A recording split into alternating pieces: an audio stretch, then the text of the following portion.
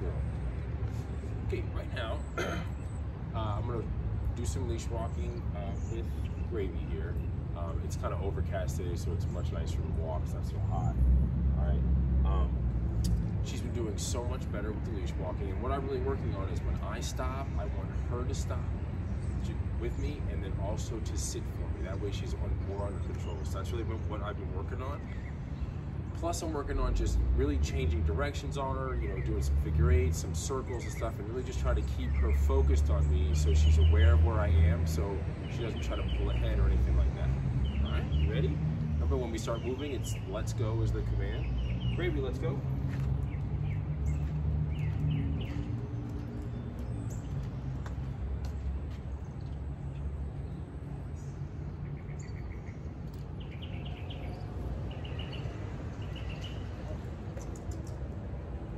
Good. So I'm just kind of doing some weaving right now. These are good exercises to practice.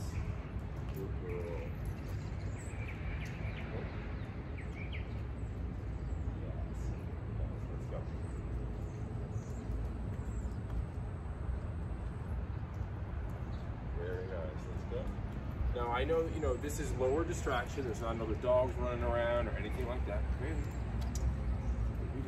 Come on. Sit. Yes. So that time I had to cue her a little bit. Good girl. Good girl. All right, but we started with low distraction, and we'll work our way up. All right. Let's go.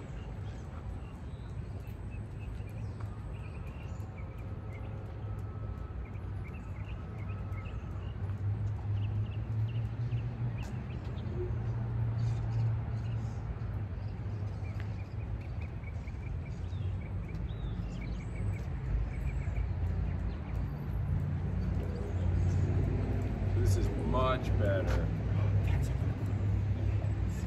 This is so much better than what we were getting before. Right? she's not she's not really pulling, trying to forge ahead. The little corrections I have to give her, like I said, just just little ones. I'm not having to give any kind of bigger corrections. She's really doing much better, and she's getting so much better with that sit. So that's what we got to keep working on. Okay, very nice. Let's go.